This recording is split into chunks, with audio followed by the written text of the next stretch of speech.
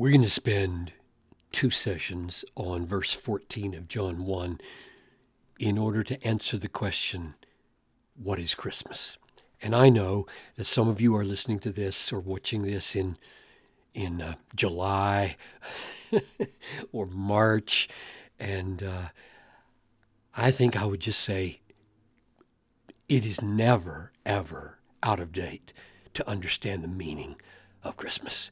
It changes our Julys and Marches and Septembers.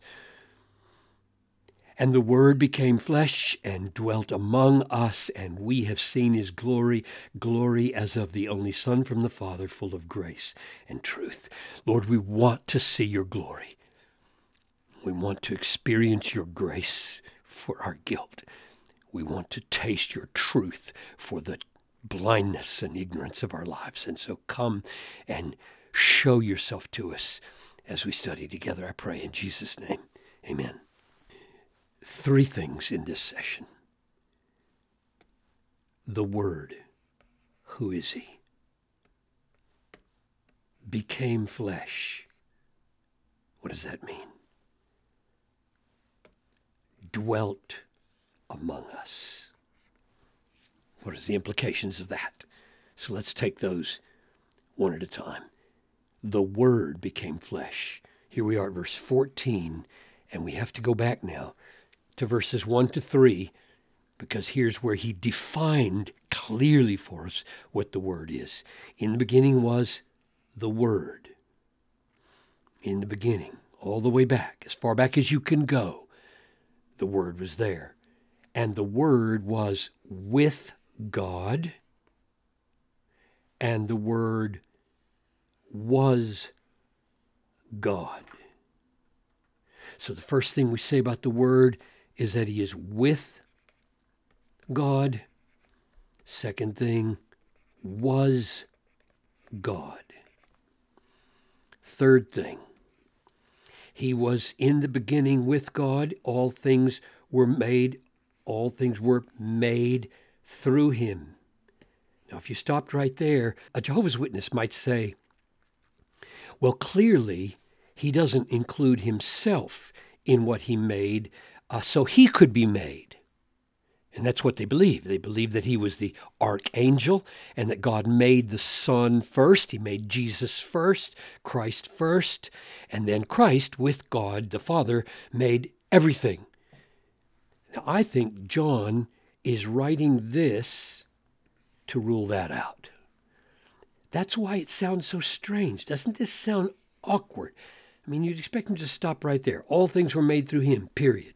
But he adds, and without him was not anything made that was made. The point of saying that is everything that was made Everything that is in the category of made, that was made. Everything in the category of made. Are you hearing that? Everything that is in the category of made, the Son made, which means the Son is not in the category of made because the Son did not make the Son. He wasn't there to make the Son if he was not made. And therefore, the Son is always there. He was in the beginning with God, and he was God, so he was not made. Let me draw in one other thing here. Go back to 114. And we have seen his glory, glory as of the only Son, Son from the Father. Now that is the first time this word is used in the gospel here, and it's going to be used 60 times because Son of God is one of the most important phrases in the Bible and in this gospel. And isn't it interesting that Muslims say, uh, Christians say, God plus Mary equals Jesus, Son of God, which equals blasphemy. And that's right. Of course it does. Amen. That's blasphemy. because that's not what the Bible teaches and it's not what the Christian church has ever taught. And, and John is trying to help us understand the, the metaphor or the image of Son by putting it right here at the beginning in the context where he's explaining the Son is the Word. And the Word is with God from the beginning, and He is God. So the Son of God is not the product of conception with Mary. He was there eons before Mary ever existed, and he is divine, and he's not the product of a creation because he was not made. And the point, so we're at four now, of saying he's the Son is that the, the Father always had, Father always had a perfect image of himself. He always had one to relate to, and he stands forth as this image, the image of God, as a distinct person who is with God and is God. That's what Son means. And that's why it's here in the context. If you ever want to explain somebody how Jesus is the Son of God, take them to the first 14 verses of the Gospel of John. So the first thing Christmas is, is that um, God exists and God is with God, yes, paradoxical as it is, and he is not made, and he is Son of God. And the next thing is he became flesh, which implies one, he was not flesh. He was spirit before the creation of the world that he made, and then he enters into it and becomes flesh. That is, he becomes man. Look at the use of the word flesh here in John 6:51. I am the living bread that came down from heaven, Jesus says. If anyone eats of this bread, he will live forever, and the bread that I will give for the life of the world is my flesh. And so giving his life is the point of having flesh. He became flesh so that he could die. And the third thing is that he will always be man.